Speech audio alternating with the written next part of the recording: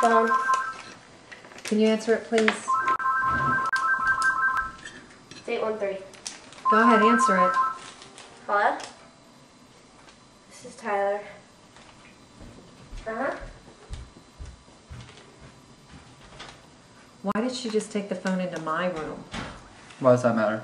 Well, her room is right there in the corner. She could have went in her own room with the phone. Because she wasn't thinking. Usually when you're on the phone and you know talking to someone, you're not you don't think about it. Just like when you're driving and talking on the phone. It's not where your eyes are on the road. It's where your head is. That's why I don't text and drive or call and drive because I don't want to kill myself or kill someone else.